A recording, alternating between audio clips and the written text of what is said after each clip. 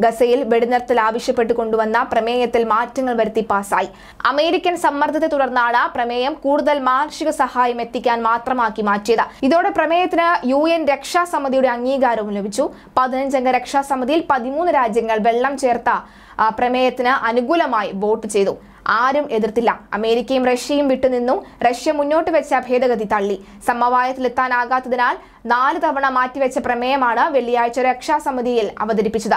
വെടിനിർത്തൽ ആവശ്യപ്പെടുന്ന പ്രമേയത്തിൽ വാചകങ്ങൾ മയപ്പെടുത്തിയാൽ പിന്തുണയ്ക്കാമെന്നാണ് അമേരിക്ക അറിയിച്ചിരുന്നത്. ഒടുവിൽ യു എ ഇ കൊണ്ടുവന്ന പ്രമേയത്തിലെ ഇസ്രായേൽ ഫലസ്തീൻ ശത്രുക്കൾക്ക് അടിയന്തരവും സുസ്ഥിരവുമായ വിരാമം എന്ന വാചകം യു എസ് സമ്മർദ്ദത്തെ തുടർന്ന് ഒഴിവാക്കി. പകരം സുരക്ഷിതവും തടസ്സമില്ലാത്തതുമായ മാനുഷിക സഹായം ഉടനടി അനുവദിക്കാനുള്ള അടിയന്തര നടപടികൾക്കൊപ്പം ശത്രുത സ്ഥിരമായി അവസാനിപ്പിക്കാനുള്ള സാഹചര്യം സൃഷ്ടിക്കുക എന്നാക്കി മാറ്റിയിരുന്നു.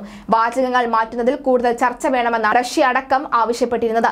ഒരു തടസ്സമില്ലാതെ മാനുഷിക സഹായം ഗസയിൽ എത്തിക്കാൻ യുദ്ധത്തിന്റെ ഭാഗമായ എല്ലാ കക്ഷികളും അനുവദിക്കണമെന്ന് പ്രമേയത്തിൽ ആവശ്യപ്പെട്ടു. അടിയന്തര വെടിനിർത്തൽ ആവശ്യങ്ങളൊന്നും പ്രമേയത്തിലില്ല.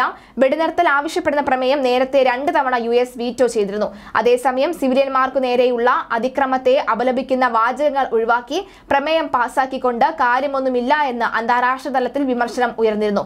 വെടിനിർത്തലില്ലാതെ ഗസയിൽ മാനുഷിക സഹായം എത്തിക്കുന്നുണ്ടെന്ന പ്രയോജനമല്ല എന്നും നിരപരാധികൾക്കുമേൽ അതിക്രമം തുടരാനുള്ള അനുവാദമാണ് ഇതിലുണ്ടാവുക എന്നും ചൂണ്ടിക്കാണിക്കപ്പെടുന്നു. എന്നാൽ വെടിനിർത്തൽ ഗുണം ചെയ്യുക ഹമാസിനാണ് എന്നാണ് ഇസ്രായേൽ പറയുന്നത്. ഈ ആവശ്യത്തെ യു പിന്തുണയ്ക്കുകയായിരുന്നു. അതേസമയം ജബലിയയിലും ഖാൻ യൂണിവേഴ്സിലും ഇസ്രായേൽ സേന ശക്തമായി തുടരുന്ന ആക്രമണത്തിൽ നിരവധി പേർ കൊല്ലപ്പെട്ടു. ഫലസ്തീൻ റെഡ് ക്രസന്റ് സൊസൈറ്റിയുടെ ജബലിയയിലെ ആംബുലൻസ് കേന്ദ്രം തകർത്തു.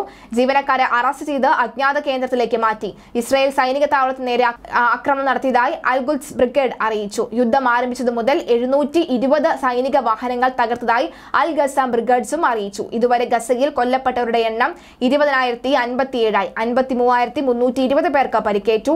അൽ അസ പള്ളിയിൽ വെള്ളിയാഴ്ച പ്രാർത്ഥനയ്ക്കെത്തിയവരെ ഇസ്രായേൽ സേന തടഞ്ഞു. സംഘർഷത്തിനിടയാക്കി വെസ്റ്റ് ബാങ്കിലെ ജെയിൻ അഭയാർത്ഥി ക്യാമ്പിൽ സൈനികരും ഫലസ്തീനികളും തമ്മിലുണ്ടായ സംഘർഷത്തിൽ രണ്ട് യുവാക്കൾക്ക് പരിക്കേറ്റു.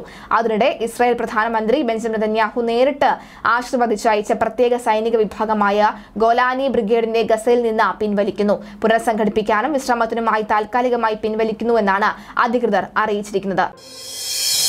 Malayali plus. Like share and subscribe.